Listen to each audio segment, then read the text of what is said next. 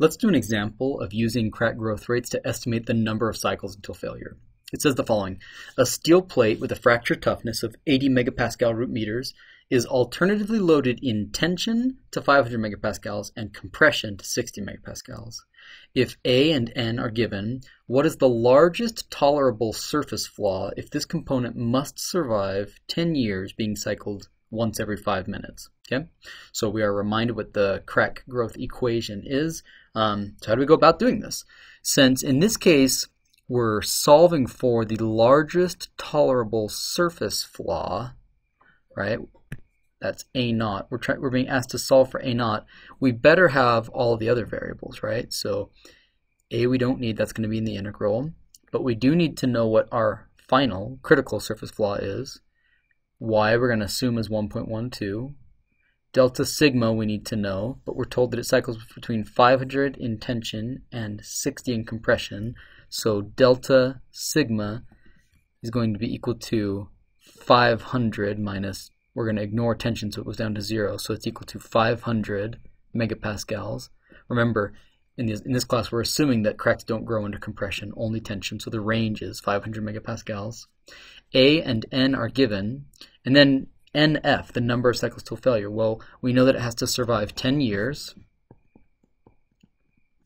And it's being cycled once every five minutes. So in one year, there are 365 days. In one day, there are 24 hours. In one hour, there are 60 minutes, and it's being cycled one cycle every five minutes. So when we plug all of that in, we find that the total number of cycles that it has to withstand is 1.05 times 10 to the sixth. 1.05 times 10 to the sixth cycles, so about a million cycles, a million fifty thousand cycles, okay? So let's go ahead and plug this into our integral for the number of cycles, right? 1.05 times 10 to the sixth cycles must now be equal to 1 divided by a, which is 1.62 e to the negative 12, that's meters per cycle, multiplied by pi to the n over 2, so pi to the 3.2 divided by divided by 2 multiplied by the range in the stress. That's 500 megapascals. Um, to the n 3.2 this is multiplied by the integral of our largest critical flaw size which we're going to be solving for all the way up to AC and then we're going to take dA over 1.12 to the 3.2 multiplied by a to the 3.2 divided by 2. So we're not quite ready to finish this yet. We need to know what our largest critical size is. So let's use Griffith fracture theory to figure that out. Griffith fracture theory says the following, that the fracture toughness K1C is equal to Y times the stress at fracture so that's going to be our maximum stress that it experiences, multiplied by the square root of pi AC. So this will be 500 megapascals. We're told that the fracture toughness is 80 megapascals, root meters.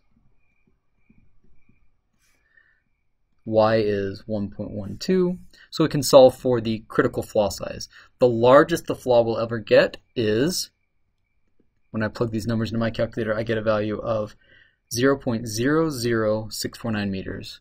0.00649 meters. So six about six and a half millimeters.